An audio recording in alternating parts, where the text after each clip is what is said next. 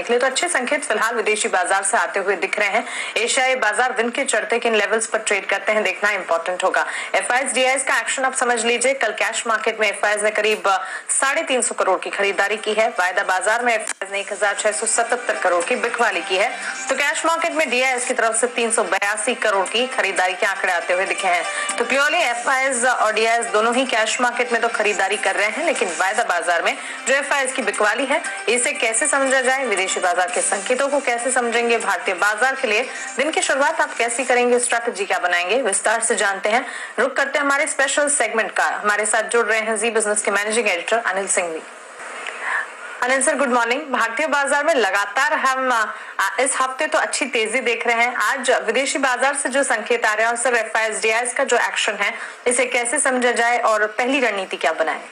Good morning Mansi देखिए, संकेत वाकई में काफ़ी बेहतरीन है, अमेरिकी बाज़ार निचले स्तरों से रिकवर होकर मजबूती के साथ बंद हुए तीनों इंडेक्स अगर निशान में बंद हुए नेस्टेक और एस ने तो फिर से दिन के दौरान और क्लोजिंग बेसिस दोनों पर लाइफ हाई बनाया है।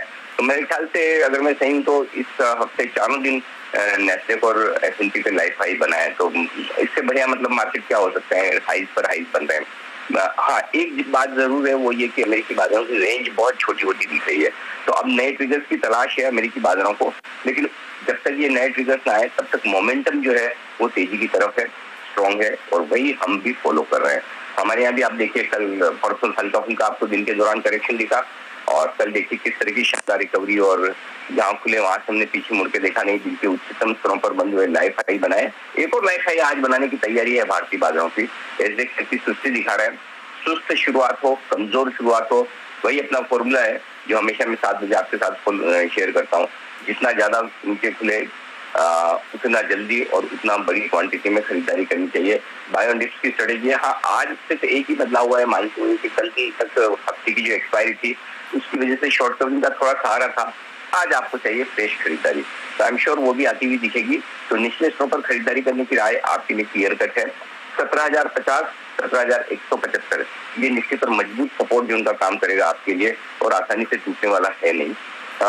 ऊपर सत्रह हज़ार तीन सौ, सत्रह हज़ार तीन सौ पचहत्तर तक जाने की कोशिश निफ्टी की हो सकती है। इन लेवल पर आपको हफ़्ते के आखिरी दिन रखनी है नज़र अब आइए बैंक निफ्टी बैंक निफ्टी में भी अगर आप देखें तो लगातार चार दिन से छत्तीस हज़ार के ऊपर की क्लोजिंग और कल तो छत्तीस हज़ार नौ सौ के बेहद नज़दीक बंद हुए हम। एक और ब्रेकआउट देने की तैयारी बैंक निफ्टी की होती हुई दिख रही है और मुझे लगता है ये भी आगे और रुझान तेज़ी का दिखा सकता है। सपोर्ट रेंज ऊपर की तरफ़ शिफ्ट होती दिख रही है। छत्तीस हज़ार चार सौ पचहत्तर, छत्तीस हज़ार पाँच सौ पचहत्तर। अब ये रेंज है, वो बैंक निफ्टी पर सपोर्ट का काम करेगी, ठीक है? और ऊपर एक बार सैंतीस हज़ार को पार किया तो फिर उसके बाद बाज़ार रुकने वाले हैं नहीं। वहाँ से भरपूर तेज़ी बनती हुई दिखेगी और तब सैंतीस हज़ार, एक सौ सैंतीस हज़ार तीन सौ आपको तुरंत ही आते हुए नज़र आ सकता है। तो ये है वो सारे लेवल जिन पर आपको रखनी चाहिए नज़र। जी।